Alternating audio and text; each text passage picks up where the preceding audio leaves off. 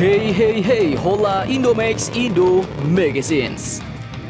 Oke, lanjut kabar yang cukup panas. Dikutip dari CNBC Indonesia, baru-baru ini tetangga besar kita Australia tiba-tiba menjadi sangat khawatir bos akan pecahnya perang di wilayah Indo-Pasifik. Bagaimana tidak? Pasalnya baru-baru ini negaranya Bapak Xi Jinping tak ada angin, tak ada hujan, tiba-tiba meluncurkan rudal balistik antar benuanya alias rudal ICBM-nya di wilayah Pasifik Selatan pada tanggal 25 September 2024 kemarin yang disebut pertama kalinya dalam 40 tahun terakhir.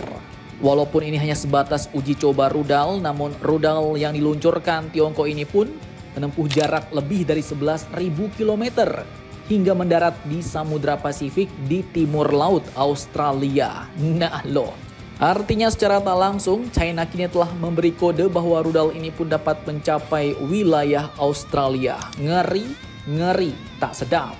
Nah, kekhawatiran ini pun ditegaskan langsung oleh Menteri Perindustrian Pertahanan Australia yaitu Mr. Pat Conroy. Ia mengatakan Australia kini tengah meningkatkan kemampuan pertahanan rudal dan serangan jarak jauhnya. Bahkan ia mengungkapkan Australia juga akan bekerja sama dengan mitra keamanan seperti Mamarika, Jepang, dan Korea Selatan. Di mana ketiga negara ini merupakan sekutu Asia yang kerap bersinggungan dengan Tiongkok. Beliau katakan, mengapa kita membutuhkan lebih banyak rudal? Lanjut ia pun menjawabnya karena persaingan strategis antara Amerika dan China merupakan ciri utama lingkungan keamanan Australia. Mr. Pat Conroy ini pun mengatakan bahwa Indo-Pasifik berada di ambang era rudal baru, di mana senjata itu kini menjadi alat pemaksaan bagi negara lain ujarnya. Kami menyampaikan kekhawatiran yang signifikan tentang uji coba rudal balistik itu, ujarnya menunjuk Cina. Lanjut, ia katakan bahwa terutama masuknya rudal tersebut ke Pasifik Selatan mengingat perjanjian Rarotonga yang menyatakan bahwa Pasifik harus menjadi zona bebas senjata nuklir. Ujar beliau menyinggung kesepakatan anti rudal negara-negara Pasifik. Nah loh, jadi sepertinya Australia kini mulai kalang kabut bos. Dan tak main-main, saking ketar ketirnya dikatakan bahwa secara khusus Australia kini telah mengerahkan rudal SM-6 pada armada kapal perusak angkatan lautnya untuk menyediakan pertahanan rudal balistik di mana awal bulan ini Australia pun telah mengumumkan kesepakatan senilai 7 miliar dolar Australia dengan Amerika untuk memperoleh rudal jarak jauh SM-23C dan Raytheon SM-6 untuk angkatan lautnya.